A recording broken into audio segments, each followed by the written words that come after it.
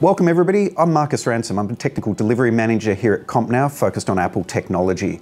Uh, I'm here today to talk about the amazing new M1 Apple Silicon that Apple has released, uh, which is using their own um, proprietary hardware inside the computers rather than the Intel boards that Apple have been using up until now.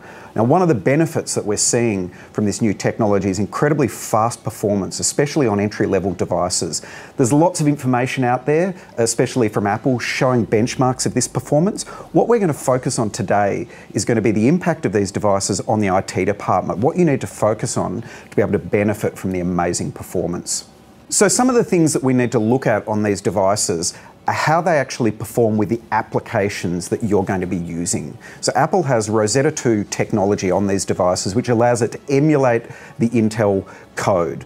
So Intel applications, applications written for the previous hardware, will generally run on these devices. But it's really important that you test this in your environment to make sure the way that you use these applications is still functioning the way that you need most of the developers are starting to release applications as universal two binaries, which means that they will run natively on the Apple Silicon. So keep an eye out there for any updates for any applications, especially beta versions of those applications, and test them in your environment and provide feedback to the developers for anything that's not working. One of the other benefits that we're seeing on these devices is the battery life. Uh, because Apple now designs everything inside the machines, they've been able to squeeze amazing battery life out of these devices. So you're going to get a laptop being used constantly all day that won't need to be plugged in, especially in education environments or people who are working remotely um, out in the field. Um, this is going to be uh, a much better experience. Apple's released three versions of the um, Apple Silicon M1 at the moment. We've got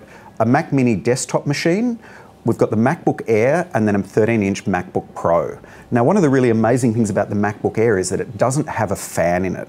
Video conferencing is something we've all been doing a lot of lately. And on the new Apple Silicon, especially the MacBook Air that doesn't have a fan, it's a very different experience. Uh, on previous Intel machines, you would notice the fan starting to spin up as you were using your favorite video conferencing application. And that's something that you don't see on the Apple Silicon, which shows the power that Apple has been able to build inside. So one of the great benefits of the Apple Silicon, because it uses the same technology that we find inside iPads and iPhones, is the ability to run iOS apps on your Mac. So if we have a look at the CompNow app that's designed for iPads and iPhones, we can see we can launch this natively on our Mac here. We can scroll through, we've got access to all of the features that we're used to using on our mobile devices.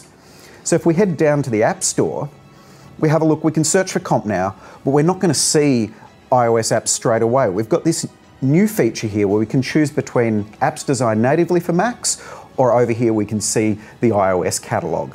Now it's important to note that not everything that's available for iPhones and iPads is available for the Macs. The developers have to opt in. A lot of developers have found that it's not quite the user experience they want. Uh, other developers are really pushing in this di direction because they're finding that this is really beneficial to their customers and how they want to use their devices. It's also important to note that volume purchasing and MDM deployment of iOS apps to Macs is not currently available, but that's something that we're looking forward to seeing in the future. Let's talk about external display support. This has been something that a lot of people have been interested to find out about. Apple supports running the built-in display and a second external display on the portable machines, the MacBook Air and the MacBook Pro. The Mac Mini, not having a built-in display, is able to support two external displays.